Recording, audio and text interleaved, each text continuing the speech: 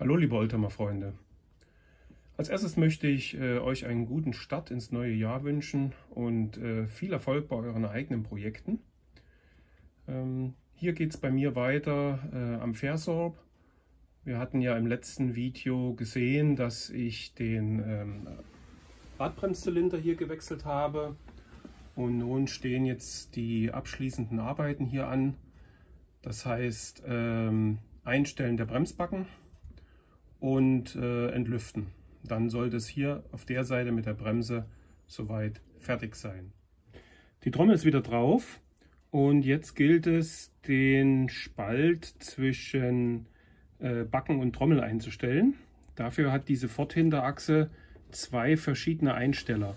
Wir haben einmal hier im oberen Bereich einen, ja, einen Kegel, den man raus oder rein drehen kann und der dann ähm, die beiden Gleitsteine, die den oberen Anlenkpunkt für die Bremsbacken darstellen, nach außen drückt oder nach innen lässt.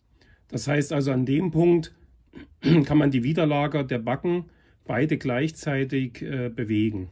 Zusätzlich gibt es so eine Art Schnecke, die allerdings hier auf der Seite nur ähm, an die auflaufende Backe greift.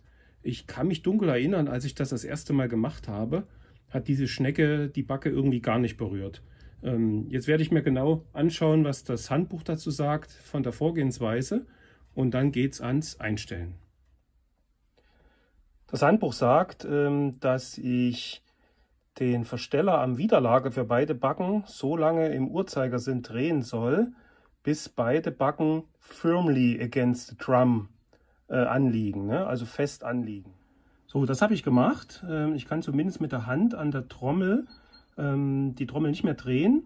Und im nächsten Punkt, das ist hier dieser Punkt 3, soll ich also jetzt diese Verstellschnecke an der auflaufenden Backe äh, so lange drehen, bis ich merke, dass die Schnecke die Backe berührt. Mal schauen, ob sich das feststellen lässt. Ja, meine Erinnerung hat mich da nicht getrübt. Ähm, leider klappt äh, diese zweite, der zweite Versteller, das klappt einfach nicht. Ich kann den also im Kreis drehen, wie ich will, ähm, aber ich merke nicht, dass er die äh, auflaufende Backe berührt. Woran das nun liegt, ist schwer zu sagen. Ähm, ich hatte, als ich das Fahrzeug neu bekam, äh, die Backen ja mal gewechselt. Ähm, keine Ahnung, ob an diesen Backen, die da jetzt drin sind, ob da irgendeine Kante fehlt oder irgendetwas, wo dieser Versteller normalerweise äh, eingreifen sollte. Ich werde also dann jetzt nur äh, den Versteller am Widerlager bei der Backen so weit wieder lockern können, dass die Trommel frei dreht. Äh, mehr kann ich hier leider nicht machen. Ähm, ich hatte beim letzten Bremsentest relativ schlechte Werte an der Hinterachse. Keine Ahnung, ob das daran liegt, dass der Spalt nicht optimal eingestellt ist. Aber ja, damit muss ich leben. Äh, gefühlt bremst das Auto sehr gut. Das liegt sicherlich natürlich in erster Linie an der Vorderachse. Und das Auto ist auch sehr leicht. Das heißt, ähm, es gibt ja auch keinen Bremskraftversteller für die Hinterachse. Das heißt, die Hinterachse sollte natürlich auch nach Möglichkeit nicht überbremsen, um äh, Schleudergefahr auszuschließen. Und ja, leider, leider klappt das hier so nicht. Und ich kann also nur mit dem einen Einsteller weiterarbeiten. Also ich habe jetzt den ähm, Versteller am Widerlager der Backen äh, zurückgenommen, äh, bis ähm, die Trommel frei dreht. Habe auch immer wieder probiert, da ja die Backen äh, nun etwas weiter nach innen gewandert sind, ob der Versteller an der Auflaufbacke äh, in irgendeiner Form ähm, jetzt Widerstand zeigt, aber das ist weiterhin nicht der Fall. Also es hat den Eindruck, als ob dieser Versteller die Backe äh, weit nicht berührt und damit außer Funktion ist. Ich denke mal, ich werde es jetzt so lassen. Ich habe das jetzt nochmal probiert. Ähm, wenn ich den Mittelversteller äh, weiter anziehe, dann äh, habe ich deutliche Schleifgeräusche. Jetzt bin ich an einem Punkt, wo ich nur minimalste Schleifgeräusche habe. Äh, gegebenenfalls ähm, muss ich das dann nochmal probieren, wie die Bremse läuft, wenn ich mal gefahren bin und die Backen sich richtig gelegt haben. Ich habe auch festgestellt, ähm, dass ich wahrscheinlich, wenn ich das nächste Mal an die Bremse hier hinten gehe, die Trommel wohl mal leicht ausdrehen lassen muss. Es hat sich eine ganz leichte Kante schon gebildet, da wo die Backe nicht läuft.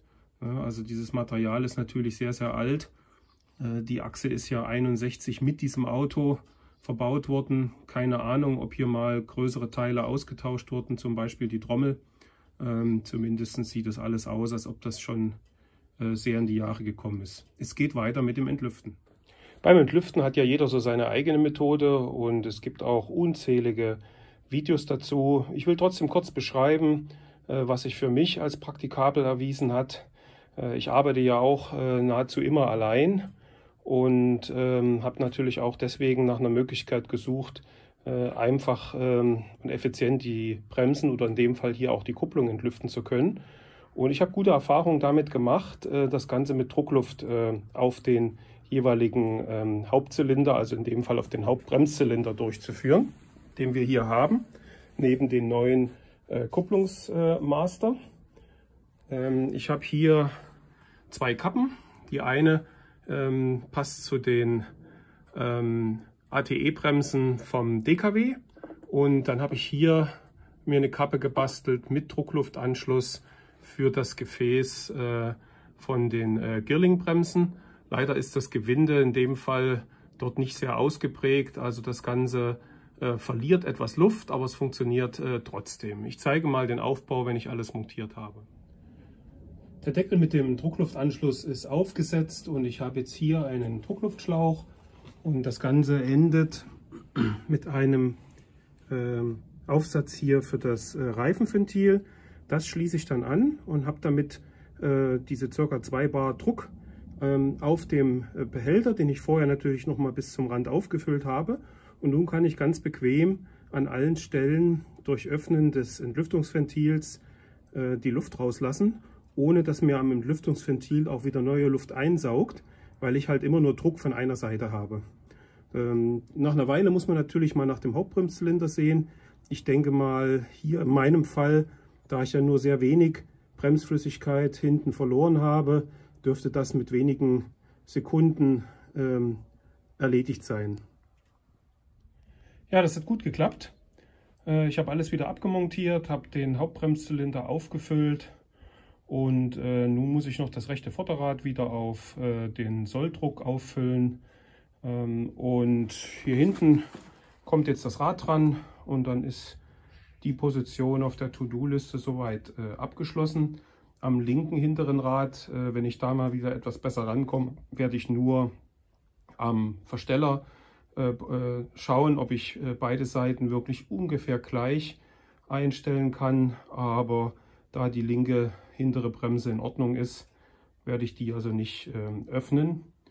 Damit kann es als nächstes mit dem linken Seitenfenster weitergehen. Das möchte ich ja ähnlich umbauen, wie ich das hier mit dem rechten gemacht habe. Und ähm, dann habe ich noch einige Arbeiten äh, im Kofferraum vor. Ähm, da hatte ich in einem der anderen Videos schon berichtet. Und dann hoffe ich auch, dass ich bald, ähm, zumal das Wetter ja momentan dazu einlädt, äh, wenn mal wieder äh, die Straße trocken ist, vielleicht auch ein paar Meter fahren kann. Das soll es von heute gewesen sein vom Versorb.